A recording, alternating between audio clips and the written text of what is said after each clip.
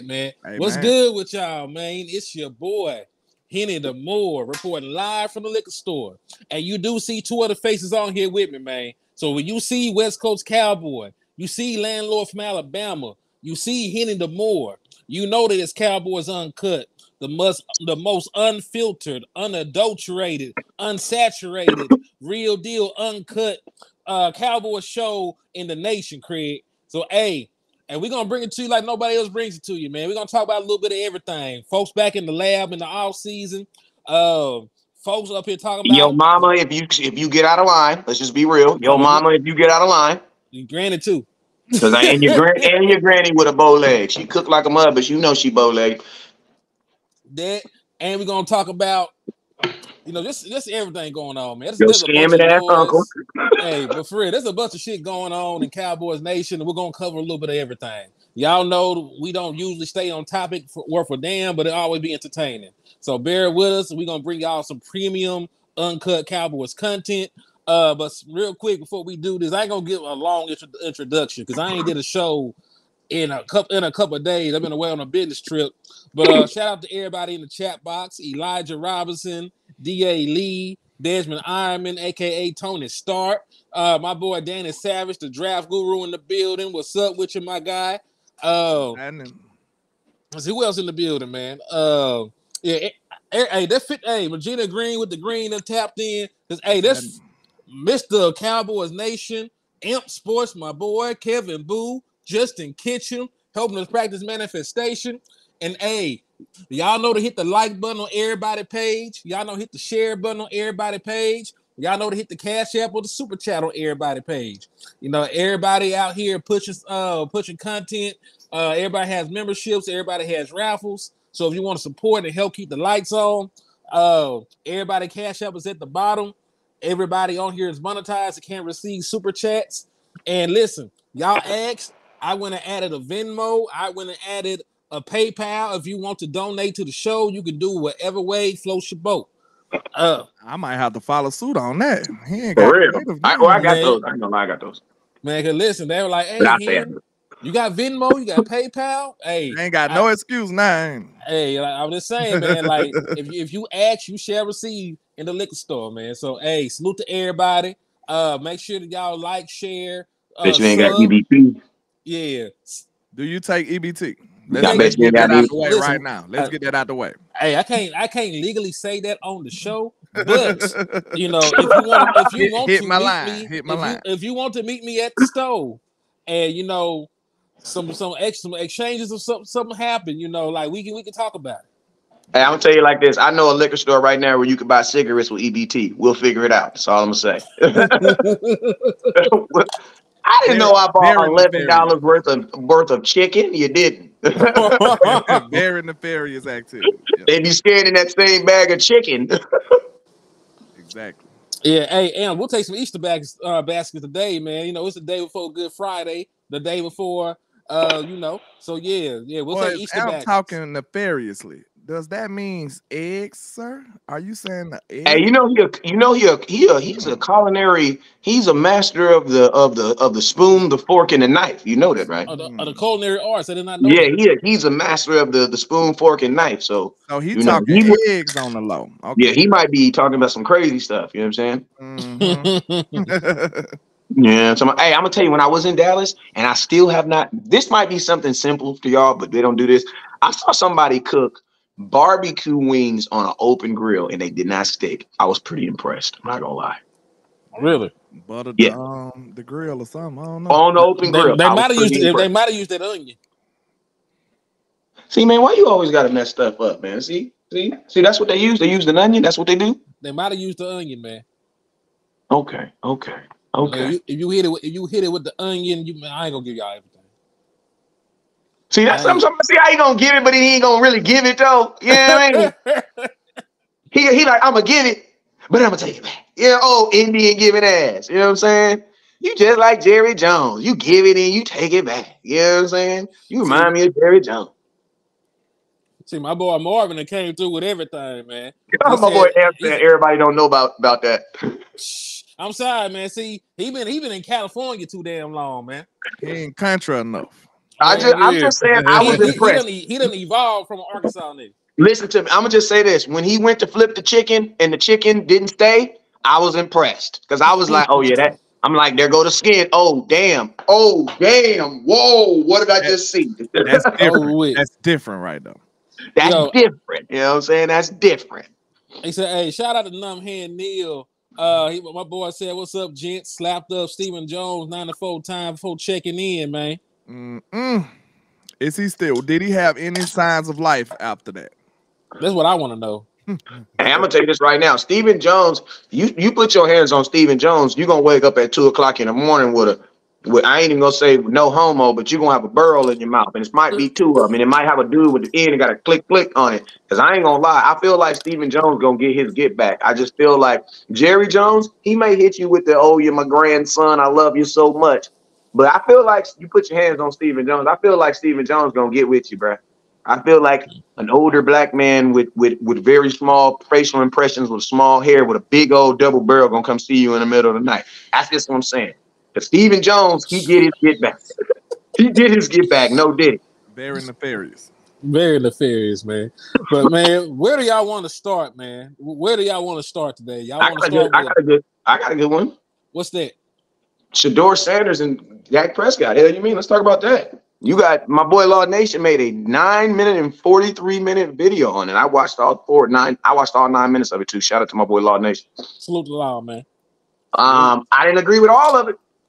I didn't agree with all of it, but I like the effort. A couple of things he did say that I agree with was I do believe that Deion. I do believe that what Law said in his video is this is true. When you draft Shedeur Sanders, you were drafting everybody that has Sanders on the back of their jersey. mm-hmm. You know what I'm saying? So that's one thing I did agree with because Deion Sanders isn't, he has been very instrumental, instrumental in his son's life, right?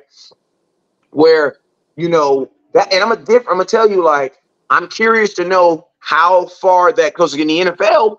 You mean you always need your daddy? Don't get me wrong. I ain't gonna say you don't need your daddy, but your agent is going to play a large portion in your life too. You know what I'm saying? Your agent is a huge person in your life when you become professional. So mm-hmm. I'm curious if teams are willing to deal with it's with Shedeur and Deion Because remember, teams didn't want to deal with LaMelo and his daddy. You know what I'm saying? And mm-hmm. you know, we are only um, and I'm gonna tell y'all, I can say this because I am one. Hmm. Only black daddies who overprotect their sons get looked at as that being something wrong. That's all I'm saying.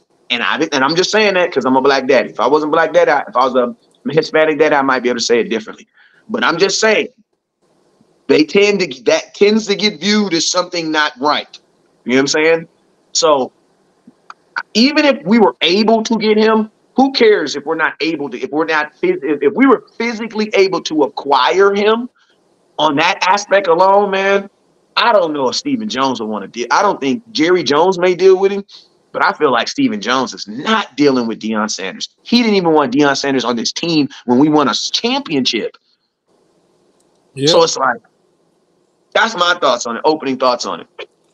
I mean, you pretty much said everything that needed to be said on the topic because Deion Sanders, what people don't really understand, Deion Sanders spent just as much time in Dallas as he did in Atlanta, and this man is not in the ring of honor. He was he won a Super Bowl, helped Dallas win their last Super Bowl. Uh, did a bunch of great things while he was in Dallas, multi-time All-Pro, multi-time Pro Bowler. One one of the best players the Dallas Cowboys have ever had. Played half a decade here. He's not in the ring of honor. Don't they play DB and wide receiver? Hey, DB, wide receiver, and kick returner. So no, the Dallas Cowboys don't show Deion Sanders love like that for me to believe that uh it's just gonna be hunky dory if they were to get uh his his son. And like you also mentioned, Shedeur is probably looked at as as the as as quarterback one or quarterback two coming out of this this upcoming draft class. And Dak Prescott's on the team this year, meaning you're going to at least be nine, nine and eight. Dak Prescott doesn't have a losing season. So the fact that they don't, they probably ain't going to gravitate toward Deion, and the fact he probably won't be available for the Dallas Cowboys both play a part in that. Yeah, and I'm gonna tell y'all something that you guys don't understand too. When you're in the NFL, there is no recruiting. There's mm-hmm. paying people.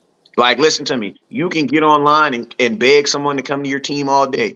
If your team, if that team that you're on is not going to pay me, all you are is a friend that's asking me to come play with you. But this ain't college, bruh. There is an advantage. Like, people always want to say that, like, they always bring up, you know, I, I think every time there's a free agent, I'm pretty sure all their homies are asking them, hey, come play with us, come play with us. But if you know that team's not going to pay you, why would you want to exist? And I'm going to be honest with you. If Deion is as smart as I know he is, like, think about this Deion opened up a high school for his kids. Then, when they left high school, guess what Deion did? He yes. left and went to college, right? Deion is always looking toward the future. Deion Sanders, I'm gonna ask you this right now. Do you want your sons doing business with Jerry Jones? Probably not. Landlord, what's your thoughts on it, man? I really don't view it like it's something that's really gonna happen. So it's hard for me to even take it really serious. So like Facts. I, I, Facts. I ain't gonna lie, like, you know, y'all can talk about it, but I'm over here like, you know. Uh, it's, it's hard for you real, to get up for it. It's yeah, hard for you to get up for it. It's not real. It's, it's not a real thing. You know what I'm saying? So I mean, it's it's a talking point. I mean, it's a discussion maybe, but I just don't see it being something that we'll do.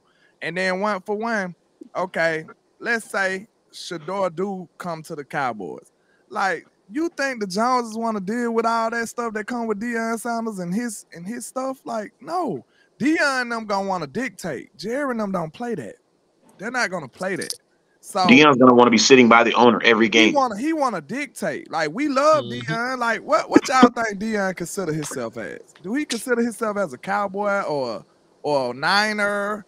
I think he only Deion, played a year with the 49ers. I yeah. think Deion kind of gave he's he's pretty much to the point where he's just like neutral. He's football. He's everybody Deion. wants Deion. Yeah, you're like, you know, pops. But everybody in football, like in a football sense, they want a part of Deion Sanders. You see what I'm saying? So I don't mm-hmm. think he actually belongs to no team. He's just Deion. You know what yeah. I'm saying? He's almost Deion like Sanders. LeBron.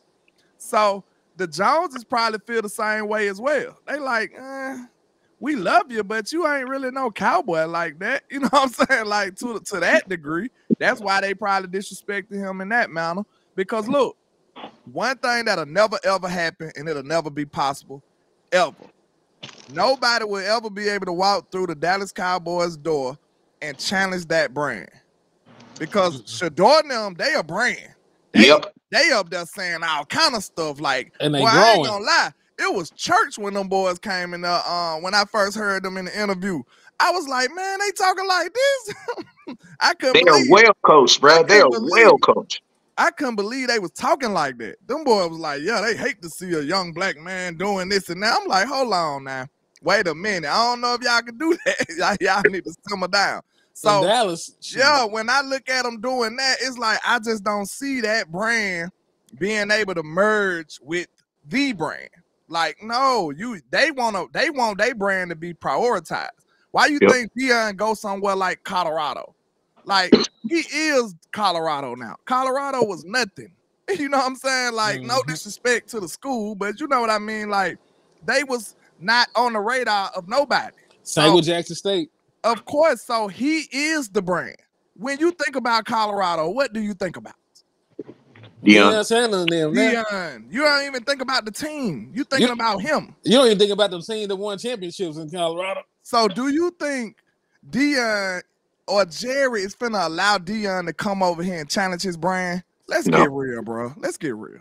Like, that's listen, why I can't I can't entertain that, man. And listen, the person let's let's say that he is the number one overall pick next year. How bad would you have to be to be the number one overall pick?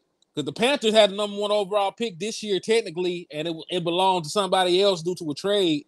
So they only won one game last year. Oh, the Dallas Cowboys going to be one game bad next year with Dak Prescott, CeeDee Lamb, Micah Parsons, uh, all them different dudes out there? No. They're, no. gonna, they're gonna win more than one one damn game. So you're never they're not even gonna even be in a position to get to get a Shedeur Sanders. Shedeur gonna end up with one of these extra sorry ass teams. So what, hey, what, what, I didn't watch Law video, so I don't want to take it out of context. What how did we acquire him? Like, what was? No, honestly, I'm gonna keep it real with you. He didn't even. He didn't. He didn't even. And I'm. And I love the fact that he didn't. He didn't. He didn't do that. He didn't even really address the fact of how the. Well, basically said you would have to give up your whole. You would have to give up everything to get him. You know what I'm saying? Because you're gonna have, have to, come up. up. Okay. You have to trade up to get him, right?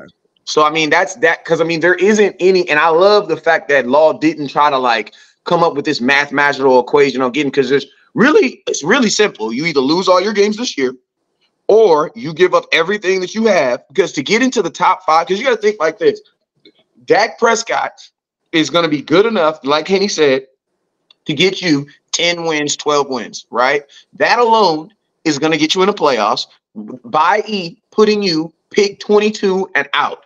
That means any quarterback that you pick after the 22nd is probably going to be like the third or fourth quarterback off the board. And that probably means that they're regular, they're probably, and let's just be real. Most start, most first round pick quarterbacks aren't even ready to play. They're put into position to play. Now, think about this. What would be the expectations of Shedeur Sanders in his first year? Even if you just acquired him and got him, what would be the expectations? The expectations would be for him to be um, top five in offensive and offensive completions. You would want him to be top five in touchdowns. Rookie of the year. You want him to be hold up. You would want him to be top five in least interceptions thrown. And by doing that, think about this. He would naturally win rookie of the year and he would naturally be an MVP candidate. Guess what? You have that right now. I was just about to say. So you're basically going to draft. And think about this: you want Shedeur to be what you don't think Dak is good enough in year eight. I'm gonna tell you this right now. To think that Shedeur can be as good as Dak, think I would just listen to me. I would just want to know: Can Shedeur be as good as the boy in Houston?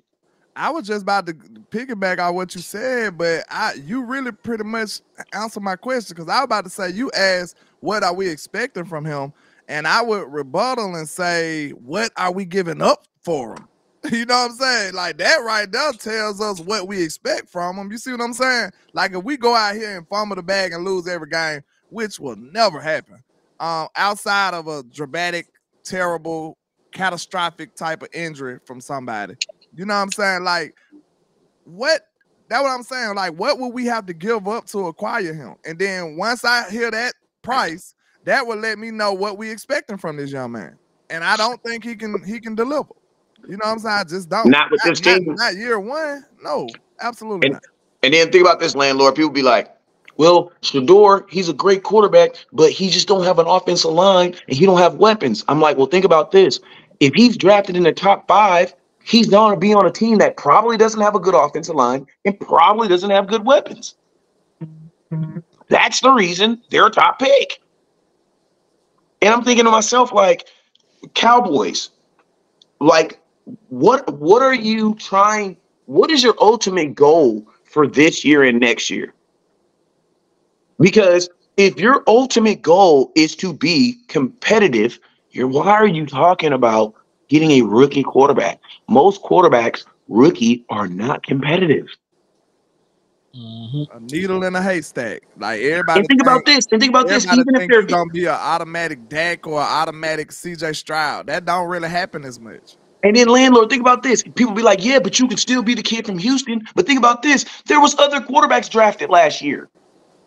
Mm-hmm. Who's to say that you got Bryce the one? Young, your boy. That's your guy. chill that, out. That, nah, that's your guy over there, man. I just don't get y'all, man. Do y'all want to meddle me because he from Bama, bro? Yeah. Bro, you take everything positive and negative when it comes to Alabama. That's your kid. He if you listen to me, nothing, landlord, when your kids are standing up there getting Oscars, you get to cry. When they standing behind the bars talking about daddy, I need you to bond me out, you get to cry. hey, that's like your child. On the streets. What, what we just said, the best either way, that's your child. The best player go to what? The worst team. What is Carolina? The worst Terrible. team. They're bad, they're even a bad organization. So, like, let's not just talk about the team. So you just think Bryce supposed to just be the whiteout eraser to just come fix everything. Chill out, man. Relax. I'm gonna just tell you like this: Shedeur Sanders is a more of a pocket quarterback, so that means he's gonna probably need a better line than Dak, and he's probably gonna need weapons. Because people think since Shedeur's black that he runs. That's not his game. Shedeur Sanders was coached and mentored by Tom, Tom Brady. Brady. By Tom Brady. Deion didn't mentor, Deion didn't let Michael Vick mentor his son. He didn't let Joe Montana mentor his son. Tom, uh, uh, Troy Aikman. I mean, he said no, no, no, no. Steve Michael Young Vick, Steve Young. You know what I'm saying? He's not. You know, he had Tom Brady in his life. Now, I love the aspiration, but what I'm saying is this: if you're telling me Dak is going to have a worse offensive line and worse weapons, how do you feel that that's going to be an era for success? Okay, can we please talk about something else? Because this ain't even real, bro. I'm sorry. Yes, let's go. Next subject. Next All right. Um, Dak Prescott. Let's effort. Let's talk about Dak Prescott. All right, so some people are saying this could be the last year in Dallas for one Rayne Dakota Prescott. I'm gonna lead out with this because I want people to understand what that actually looks like financially for people. Because people keep telling me, oh man, the Dallas Cowboys got this much cap space uh in 2025. It doesn't even matter about the 40 million. Shit. All right, let me tell y'all something. First and foremost, if Dak Prescott ups and walks, if no contract is is done, he as a free agent, contract expires, voids out. The Dallas Cowboys will be on the hook for 40 million dollars in 2025. It was 36, but they restructured and moved a little bit of that cap hit towards next year. So why would we have to pay Dak Prescott $40 million next year? Because of the voided years. When a contract voids out, this ain't the one. When a contract voids out, right, every voided year will have to be paid that season. It doesn't matter if, if you have seven voided years on the back of the contract. It doesn't matter if you have two. Every cap hit associated with a voided year will have to be paid that year. So you want to know why? What? You want to know why? Because they want to make voided. sure they want to make yes voided, but they also want to make sure. I promise you, the players' union was the one that makes sure that that was in there because they want to make sure two years from now you don't make a bunch of dumb decisions and you're like, I can't pay you. Mm-hmm. So you know, so yeah, you get the money up front. So you'll be in the hole for forty million dollars on Dak Prescott in 2025. And but folks look will look at the numbers right now. Well, Henny, there's 80 million dollars. Uh, there's 80 million dollars available in 2025 with the dead cap hit. But you're also forgetting half your team is not under contract in 2025. It does not account that CeeDee Lamb does not CeeDee Lamb is not under contract in 2025. So you either got to tag him or give him an extension. Zack Martin is not un- under contract in 2025, so it doesn't factor in his money. Also, Odighizuwa is a free agent. It doesn't it does not factor in his money. If you were to give Micah Parsons an extension, it does not factor in that money. If you like, there's a bunch of there's a bunch of, of factors then hey, also gotta, does not. I also, a, go ahead. Go ahead. Go ahead. I gotta take a call real quick. All right. It also does not factor in the fact that you have not paid your free your uh, draft class from this year, nor will it factor in the draft class for next year. So, folks talking about there's a bunch of money. No, your team is a shell in 2025. Ain't no, you got 80 million dollars. Cause ain't nobody paid. Facts. So no, it, it, still is going to hurt you. It's, it's still going to hurt you having forty million dollars of dead money for a dude that's not even on your team. And then guess what? You need a damn quarterback, so you got to pay the damn quarterback that you bring in. Facts. So this is all I'm saying. Like it's not just going to be this clean break from Dak Prescott. It's not, and we should know better by now. You know what I'm saying? Like I'm not even entertaining a lot of that stuff, man. Like I really feel like it could be, but I strongly feel like it shouldn't be. So I'm gonna just act like it's, it's make believe until they they really do it. You know what I'm saying? That's how I gotta play it. Cause look, if we want to start over, it's really discouraging. Like, listen, this is why I, I drastically don't want it to happen. This year would be for nothing. Like it, it would it wouldn't matter at all. It wouldn't. Like if you're not gonna get a man a fighting chance, you're not gonna get a coach a fighting chance. If you're not gonna get them a formidable team to actually suit up and try to win, what are we really doing here? You see what I'm saying? Are you gonna just sabotage them every turn, every corner? You got your head coach on your head coach is on a one year deal. That's not worth it. Your head coach is on a one year deal. Theoretically, your defensive coordinator is on a one year deal. Your quarterback, starting quarterbacks on a one year deal, and your starting wide receivers all on a one year deal. That's your offense. And all of them people supposed to trust the front office and try to play for them next year. Oh, Richard, that's what you forgot. Trey Lance needs a contract in 2025 as well. So you either had to pick up Trey Lance fifth year option or give him a contract. So no, 2025 you have to either pay Trey Lance or pick up his fifth year deal. So hey, Trey Lance is not is not under contract in 2025. Hey Chris, I am gonna keep it one a buck with you, my boy. Uh, you literally read my ins. You that's exactly how I feel. I feel like the Cowboys are gonna get a deal with Dak because I ain't gonna lie. I feel like this, my boy. Chris, I'm gonna tell you, my boy. I feel like this whole we just gonna go through the season. Ain't nobody heard Dak's thoughts on it, right? Ain't mm-hmm. nobody that like like what if they just said that? Like you know how like when you break up with a girl and then she go tell the whole world, oh he was there's only three things a girl, it's only a few things. You either gay, you dig Lano, or you gave her a few days. You know what I'm saying? It's always one of them three things. You feel me? So she out here telling the world about you. Ain't nobody heard your side of the story. You want to know why? Because you up here keeping it player. You know what I'm saying? I'm just keep my mouth closed. You know what I'm saying? Yeah, but I ain't talking about her though. You know what I'm saying? I'm gonna let them talk. So guess what? Everybody believes what? What's being heard. Because guess what? We as men also know that sometimes defending a lie only validates it. You know what I'm saying? So if that come out and be like, no, I didn't say that, then they be like, okay, well, what did you say? Why you think what Jay said? A wise man told me.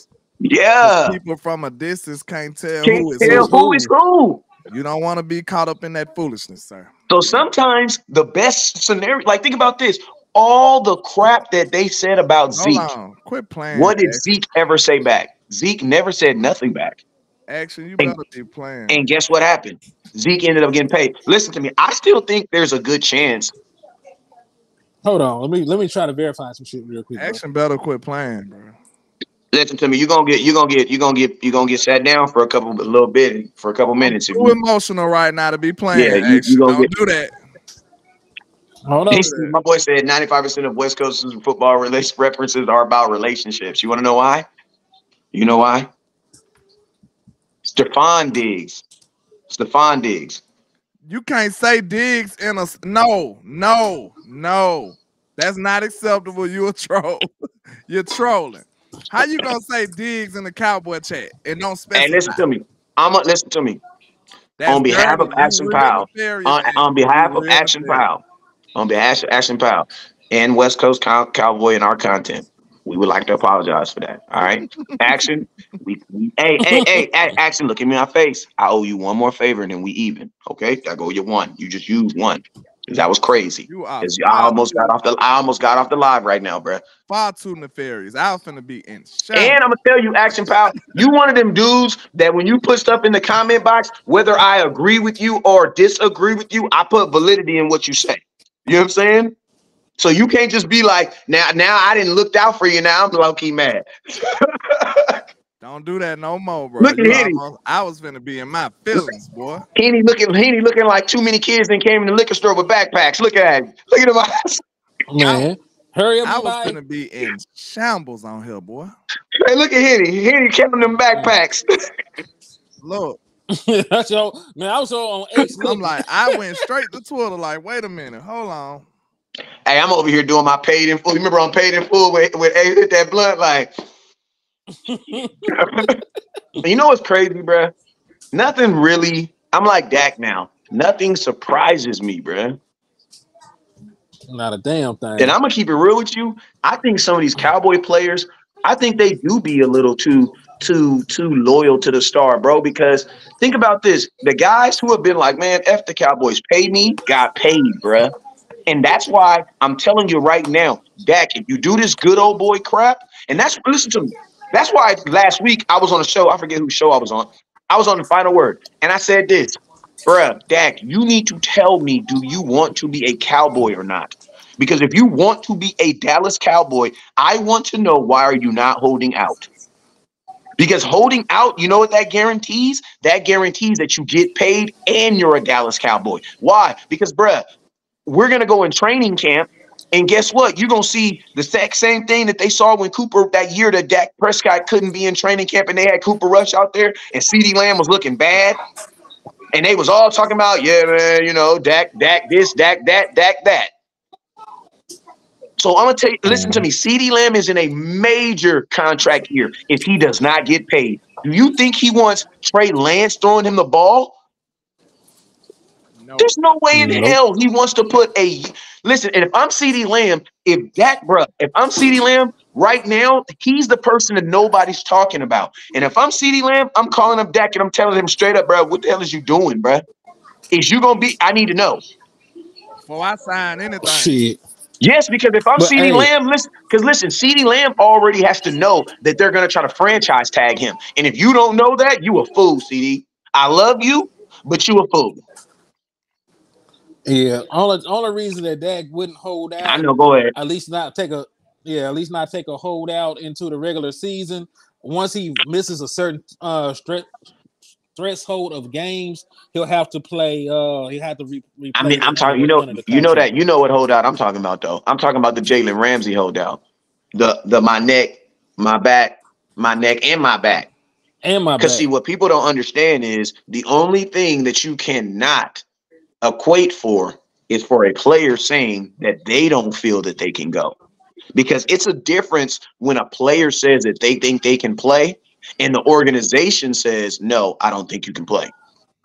When I Hey, shout out to Chris Bosch five dollars yeah. for the 499 super sticker. Salute to you for showing love. And Chris Boats, they got you a raffle entry. If y'all want to be like Chris Boats and uh, get an opportunity to win a Dallas Cowboy jersey, hit the Cash App, the Super Chat, uh, the Venmo, the motherfucker be PayPal. We got everything up and running. So you want to get in where you fit in, you know, hit hit one of those. Five dollars a pop for the raffle entry. Salute to you conversation that a conversation that everybody's been talking about is you know there's been interest between Dalvin Cook and Ezekiel Elliott.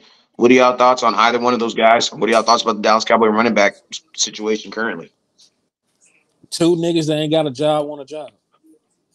That's that's my thought process about it. Because when you read the report, it says they are interested in coming to Dallas. It don't says that Dallas is interested in bringing them in. So you know, of course, if you're a healthy running back, a team needs a running back. Of course, you'd be interested to come to Dallas where you can try to compete for uh, for a playoff spot. Like hell, we just seen Dalvin Cook play for the Jets on a t- on a team that wasn't going anywhere. We seen Zeke, Ezekiel Elliott playing on the Patriots, a team that wasn't going anywhere. So of course, running backs that, that still feel like they have a little bit left in the tank, you know, will want to come to Dallas at this point. Because listen, everybody else and their mama that uh that signed running backs. Dallas Cowboys the big the biggest name. I still don't understand how it would work out with Zeke if he signed a contract back with the Dallas Cowboys. I, you know, with the dead money situation, like you owe this man money already. So does that factor into what you give him? Is, million, is Zeke? Right? Is, yeah, is Zeke going to be cheating himself? Is, is, if we give him a two million dollar contract with the Dallas Cowboys only be on the hook for four? Like I don't know how that plays out. If you give him a two million dollar contract, would you then owe him eight? I don't really know how that how that works uh works with that. But you know, uh, I'm desperate for a running back at this point. You could have told me that uh you could have told me that uh that that uh Peterson was coming out of retirement and want to play for the Dallas Cowboys. I would entertain it. I'm desperate. Rico, I'm, I'm desperate to say I'll Go say ahead. this though. Um, I'm not. I think Dalvin might be over. You know what I'm saying? If we didn't sign Rico, you might have could have paired him with another back. But the danger with Zeke, though, man, do y'all okay? Listen, do y'all think Zeke can come back and we draft a running back and that running back be top priority? Because I don't want to play the politic game. I don't. Then, if you're not going to play the politic game, then training camp will def- will define and decide who's going to be the running back number one. Because if you're not going to play the politic game, you're just going to put him on this team, and then you're going to let him give him opportunity to play, and whoever plays best is going to. You know what I'm saying? That's football. Politics so, so would be you draft a kid, and then he already has his position. Zeke gonna take a step back. No, Zeke is not going to take a step back. You're going to tell both them dudes you're going to throw your ass in a pit with a knife. Whoever comes out alive is the one who got the job. That's what you're going to do. That's what football is. Football at its core is whoever. No, what it well, that's what it should that's, football without politics, but we know exactly. But that's the real thing. I'm sorry. Nah, you're right. Go ahead. My bad. No, I got to work on that. My bad. I just was saying, yeah, you, no, was, you, you, it was actually interjection time, but I was just saying that uh, you know, politics is a real thing. You know what I'm saying? It's it's a real thing. So I mm-hmm. mean, in the purest form, if we just say, hey, who's the best running back? You know, you show me what you got, you show me what you got, and then whoever's the best, that's who get the job. We know that's not real life though. That's not how yeah. it works. And I know Zeke got so much cachet in his locker room and in his organization, he might not even be the best back and still be demanding snaps and um runs. That's what I'm afraid of. Just being honest. Well, think about this. If Zeke, I don't think that Zeke has that problem because Zeke was already sharing the load with Tony Pollard when he felt that he was the best back, getting about to make $12 million a year. He didn't have a problem doing it then. So why would he have a problem doing it now? You understand? And I would feel Zeke also was that Zeke already did that in New England. Like Zeke wasn't starting running back in New England. They had another running back. I forget what his name, but they had another dude that was in front of him. So I think Zeke is the Dallas though. Yeah, in Dallas, in Dallas, bro, in Dallas, he was sharing in year three. Zeke was sharing the load with Tony Pollard. So he's already like, oh, Zeke hasn't been a true starting running back since 2007 18. You know what I'm saying? ask you like this, Wes, because I think you're missing what I'm saying. Listen to this. In a situation, critical situation, do you think that Dak is gonna be like, "Hey, Ricky, come in the game," or you think? No, I think. Like, listen to me. Come on, Zeke. Is, I know what we. You know, this, I know you know what we doing. Let's go. This is what I think. I think that Dak, being the truest, one of the truest and honest competitors, who actually told Dez Bryant, "You will get the ball when you're open," is going to give the ball to whomever's open, bruh.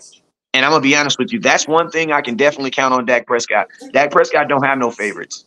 He don't have no favorites. And you got to remember, we're talking about running backs. We're not talking about wide receivers. So you know, Zeke will have his plays that he's that he's more designed to be successful on, and then the young running back will have his plays that he's you know I'm saying that he's being young. I need Ezekiel Elliott in the red zone to hold on to the ball and to be able to punch red zone plays in. That's what I need. Now I keep on hearing this thing called a progress stopper. I'm gonna tell you this right now: progress stoppers only exist in non-contact sports. In a contact sport, progress does not.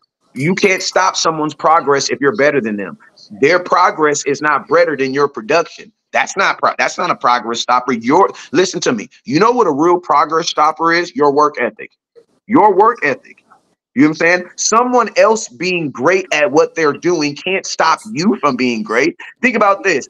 I'm gonna be a great podcaster regardless of what these two dudes do. And guess what? They can be great too.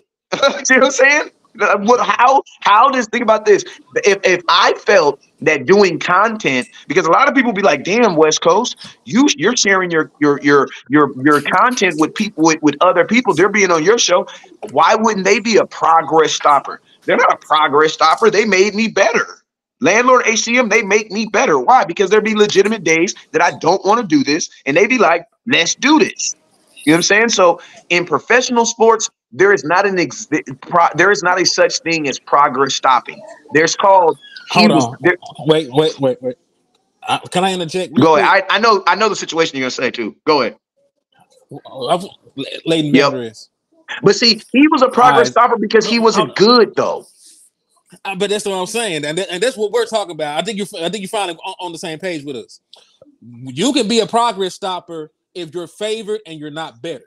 And that's when the politics yes, also that's when play. politics so and and that's and that's all we saying. Like we want exactly what you said. We want the fair competition. If it comes down that Zeke is the better running back right now, let him get it. If it comes down that the new uh, new guy's the better running back, let him get it. But my thing is, we know that they they play favorites. They do all kind of weird stuff in Cowboys world because it's it's Cowboys Nation. This would not be a conversation if this was, was Kansas City, but we saw them sit down a first round a first round pick running back at the seventh round Can pick. I press pause right we, now? We, this, uh, can I can I say one more thing ahead, real quick before you interject? Another progress stopper that, that folks don't talk about was Jason Witten at the back end of, of, his career when he would not let any of the other running back, I mean, other tight ends get in where they fit in, and they were obviously better at that point in time. They, let that man couldn't couldn't run past me, could, couldn't outrun me at, at one point out there, man and he was still out there getting all getting all the catches, getting all the targets. So this shit. this what I'm so, about to say real quick. Like so, this my this is what scares me because you just said it. We all want pure competition. Let the best man win. But what if it's not a clear mm-hmm. winner? There will be. A, there's always. there's always a clear winner. No. You know, there's always a clear winner. It could be. No, close. there's not. You know, let me tell you. If I just told if you. If it's close, bro, they gonna side with Zeke. Listen to me. Listen to me. There's all. There's always going to be a winner in professional sports. You want to know why? Because Zeke is on a in a 70 play game. Zeke is not going to play 70 games. There is a scheme for a reason. Zeke is not going to have the same stretch plays that this rookie who's 24 has. You're not going to be funny for telling Zeke, all right, I want you to stretch it all the way to the goddamn tight end and then wait for the damn wait for this wide receiver and then bounce it back to that. They're not going to be doing that with Zeke. What they're going to be doing with Zeke is um, we're on the nine yard line. I'm about to hand it to your ass twice. Uh, you're on that first, on that first, on that, and people be like, "Oh, Zeke only gets you three, four yards a game." Well, guess what? If you're on the nar, if you're inside the ten, that means Zeke gonna get me five, and then give me four the next play. And one thing I love about Zeke is he is a heavy running back. That means he always falls forward. You show me some plays in Zeke's career where a somebody met Zeke even his rookie year in that preseason game where someone has met Zeke and you have stopped him and he went this way and they and the, they was on top. That don't happen to Zeke. The only time that happens to Zeke is in pass blocking. The only time you see Zeke get blew up is in pass blocking. And I'm gonna tell you this right here. Listen to me. If you want the rookie, that's fine. Get the rookie. Keep the rookie. But guess what? Dak Prescott is not out there on naked shotguns in five wide receiver sets. So what does that mean? That means 90% of the time when Dak drops back, there's a running back beside him. I'm gonna ask you this question. This year, we're set up to pass the ball. We're putting everything on Dak. We're putting everything on CeeDee, and we don't have a starting running back. Even if we do get one, to you guys' standard, you say he's going to be washed or a rookie. So what does that mean? You're going to lead with the pass. I'm going to ask you this right now. You got a blitzing linebacker coming down that middle. Who do you want picking him up? Ezekiel Elliott or some rookie from Texas? I'm sorry, bro. If that's going to be happening quite oftenly, give me the rookie. Let give me Zeke to do all the dirty work, and let the rookies get the shine. I don't see. And listen, no, nobody is saying that's not a good idea. The issue is you're not. We'll talk about the other side of it, where they are trying. They're going to try and sell the person that that may not be better. We're just saying if the, if the competition comes down to it, we just want everybody to get in where they fit in. But see, I don't. That's but it. listen to me. I don't think the And Cowboys. real quick, and I, I, I also need to get Neil's uh 499 real quick, and then I'll let you cook. So shout out to uh, Numbhead Neil with the 499 for the mind. They also got you a raffle entry, my brother. He said, "Yep, the Cowboys do shit like keep Josh Ball and Chuma Edoga and let Aviante Collins and Isaiah Lynn walk." I'm just saying they, they do horrible things Or sometimes, force man. school making I, on I- you. I don't think any, I don't think I don't think anybody is disagreeing with with what you're saying. I just think they have Not shown us they're not block. trustworthy. Not all these shit. running backs can block. That's not true. I just I'm just saying that they they have shown us that they do shit that's not trustworthy sometimes. That's that's all it's all thing. Yeah. So listen, and I'm gonna tell you this right here. What school make on us, bro? Listen to me. I'm gonna tell y'all this right here. Any back that we get right now is not going to be is going to be splitting carries regardless. So that's what you you, you got to understand. There's two things to a running back. You need your long running back who's going to take your long runs. Then you need your short bruiser back. I want Dak. I want Zeke for the dirty work. And then you know what? You put your other running back in there and let him do. And guess what? That's how the Cowboys are set up now. We wanted Tony Pollard for our glory stuff, and we wanted Rico Dowdle for our bomb, bomb, bomb. All I'm saying is get a better bomb, bomb, bomb guy. You can still get that. Rick. Think about think about this. Still go get the rookie. And think about this: Rico Dowdle is signed for so. Rico Dowdle also plays special teams, so he's on the team. But even if he doesn't play a lot of running back, I don't care because he's still going to be in the backfield catching balls for on special teams. You know what I'm saying? So there's there was more than just running back reasons why they signed Rico Dowdle. He's also a key member on, on every special teams. You know what I'm saying? Oh, hey, that brought up that brought me that brought up something. Can we touch on the new kickoff rule real quick? That is important. It looks That- so that- goofy. It, it looks it looks ugly. I'm gonna try and pull this shit up real quick, man. But I was KaVontae just about to say, Turpin Turpin finna cook. is extra hype Turpin about finna this. cook. He hype. that nigga hyped as hell about this uh, rule change, man. I ain't gonna hold you. Let me see if I can find what the what the what the thing looked like. I think I should. I think it's. I mean, my uh, question to the NFL is, what is the objective of it? Is to make it safer, make or it is safer. it make it safer? The, the, no, they actually want more kickoffs because it's safer. Want more. So then move the damn kick return back, duh. All you got to do is move it back to where it originally was three years ago. Hold on, let me pull it up. This is what the new kickoff. They decrease the distance like. between the defense, the defender, and the returner, so it won't be as high impacts. That's what they're trying to. And you and you also can't run until they field the ball. Like the, the people that, uh, that kick the ball off, they the other folks can't move outside of the kicker until the ball until he catches it. Yeah. So hold on, let me share the screen, and then I can pull up this. Uh, this real quick. Hold on. Boom. Now that I think about it, I Boom. really don't like it. Actually. I really don't. so listen, like here's it. the uh here, here, here how it looks. Just a little 11 second clip. So he kicked the ball off, everybody is still, the ball is fielded, and now you're right. Yeah, you see how they decrease the distance between the defenders and the returner so it can be a lesser impact. They don't want them building up that much speed and just running into each other like you know, gladiator school or something. I mean, you should. I feel like you should at least be able to have like three guys that can drop back at a safety position because basically, whichever way you kick the ball, that's those guys have to be the most alert. I really don't like it though, bro. Because think about this. I mean, I understand it, it's supposed to give us more uh returns and it's it's it's something like that, but at the same time, now we gotta learn how to defend in this way they got to learn how to, you know what I'm saying? It's going to be a lot of stuff, fluke games getting won off of some crazy stuff like this, man, or loss. Hey, like, I don't know if I like I'm, it. Oh. John Foster it's basically it's, it's basically like protecting a screenplay. Pretty much. That yeah, yeah. Matter of fact, it's, it's pretty much the same principle because the blocks are already yeah. set up. It's basically like protect, protect, pretend.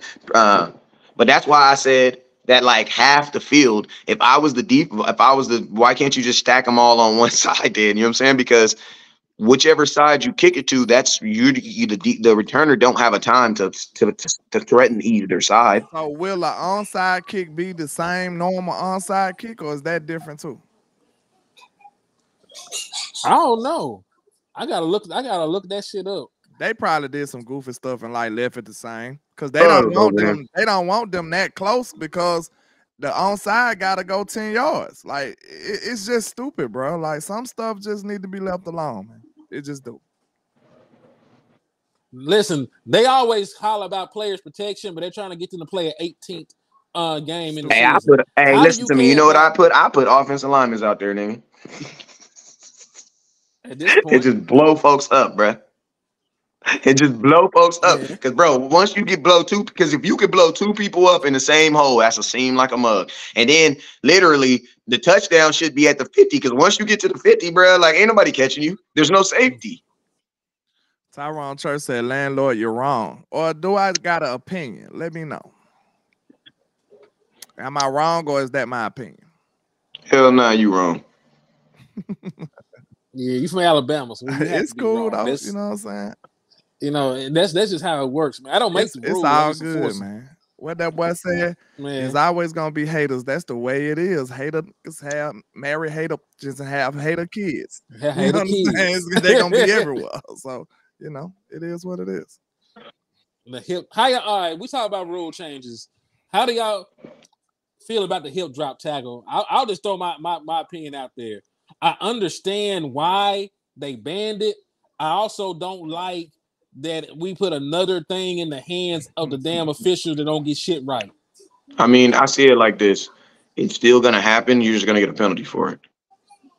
Like I, people aren't out there doing that shit on purpose, bro. Like, like exactly. that's what people got to understand. That like, yeah, we hate the Eagles, but bro, they don't they don't hate each other like that, bro. These dudes all went to college together.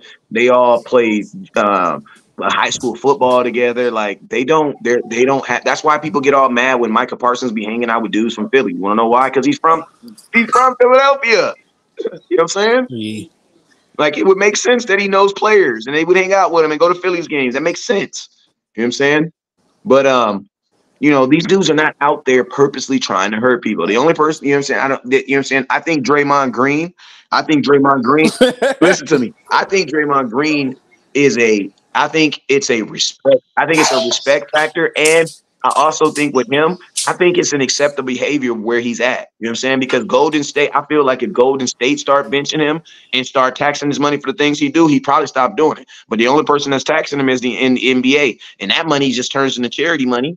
You know what I'm saying? So I think part of Draymond Green's moniker is they allow him to do that. I don't think it's just something he's out there purposely doing it because he don't do it to he don't do it to LeBron, and LeBron is home. you know what I'm saying? You you ain't never seen him do stuff to stuff that he that people he he's always people that he you know what I'm saying. So back to the NFL, I don't think people are out there purposely hurting people. So it's just going to be something that you're going to see happen, and it's going to happen, and they're going to get penalties for it. I mean, my question, I, like I said, it's delicate anytime you challenge you you change anything to a game that we all love like that. But uh, I look at it like this, man. If it's if it's just egregiously being way more injuries from that particular tackle, I mean, you gotta kind of consider it, right? You, yeah, you absolutely. I, yeah, absolutely. Yeah. Well, listen, I'm not opposed to banning it.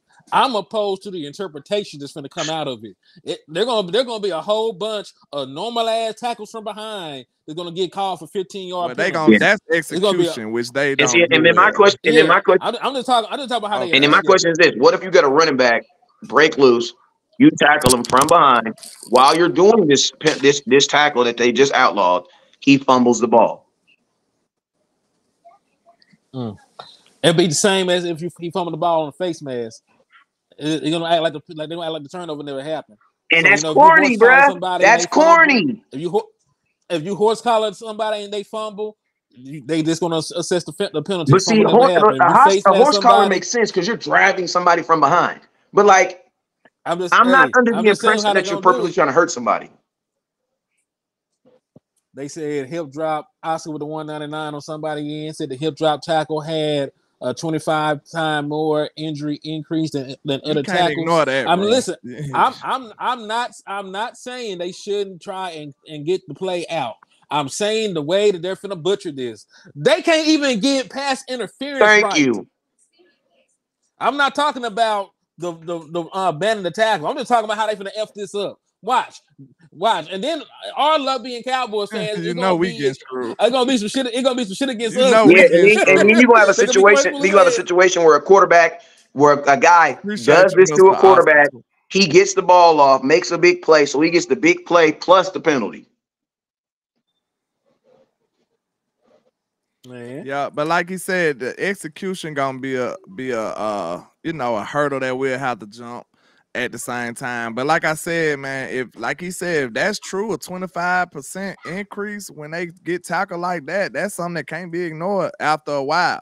If you got if you got a long, like a long-term list of data that says that, I gotta I gotta address that. You know what I'm saying? You got to. And then, like we said, a lot of people saying, how would they tackle? You know, bro, the shoestring tackle been a, been one of the most effective tackles since day one. Like, hey, you grab their feet, they gonna fall. You know what I'm saying? They're gonna fall. I don't care how big is. Like, you're gonna fall. If they trip you up, you will fall, sir. So, I mean, it is what it is, man. But hey, maybe we have to. That's something else we got to train differently for. You know what I'm saying? You got to train differently with that. You got to be able to uh, know how to bring the ball carrier down in a different way now. So all the rule changes, they all change everything. Like it, it, it's still something. Look, it might be a potential hip drop tackle that let somebody run the ball 100 yards and win the game. Like we're gonna be like, dang, he he didn't. He was thinking about the hip drop, and you know what I'm saying. Like at that point, just just do it and take the penalty. So I mean, that's gonna be another challenge for a lot of defenders. And running quarterbacks, running quarterbacks are going to be really running quarterbacks are going to are going to do a good job. It's hard as hell to, to be a defender anyway. So they got something else to uh, mm-hmm. Yep. But they, hey, they they always said they wanted more points anyway. They they flat out said it. They were concerned because scoring was down last year. they want more points. They want box office. So you know all the rule changes will always be slanted for the offense. Unfortunately, it's just what it is, man. Just what it is. I'm trying to see if I can find a list of, of all the new rule changes. I seen somebody. I know that you now uh get an extra challenge if you get one of your two challenges they correct. Been doing that, like like the NBA, so, right? You know, it used to be you had to get both your challenges right to get a extra challenge. Now, if you get one out of two challenges right, you That's get. That's how the challenge. NBA is, I believe. I'm not the NBA. Sure. Well, you get to keep your challenge if you're right. Well, the ability. I mean, the fact that they're giving you ability to challenge more, it lets you know that they understand that the game is flawed. But we don't want to get to the point where we're trying to correct the game where we actually make the game actually worse. You know what I'm saying? Like there's a penalty on every freaking play. Unfortunately, fellas, just that's just what the life we live. That's the NFL. Like somebody's gonna put somebody's hand is gonna end up on someone's face mask on every single play. That's why you coach against it. That's why you coach uh, offensive linemen not to get let let them get their hands on you. You know what I'm saying? Why? Because they don't always see things. You know what I'm saying? And to keep it real, you don't want them seeing everything, man. You don't want them seeing everything. Mm-hmm. I agree with you on that one, man. And if you Damn, if you grab Derrick Henry feet, sir, he will fall. I promise you, he will. You know what I'm saying? You just gotta you gotta know how to do it. You gotta rake his feet. He's gonna fall. Or hey, hold on for dear life. You you you gonna take it to the extreme. It's gonna be hard to tackle him anyway. regardless, regardless of I what mean, rule you got out there. Hey, let's let's hey for this last little maybe 10, 20 minutes, man. Let's do some rapid fire questions, man, because we got some super chats coming in.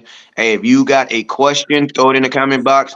If you got a question with a super chat, I promise you we gonna read it. We will not leave until we read every super chat or every cash app uh, that has been sent. So Oscar Westbrook, uh, Henny, you want to read that?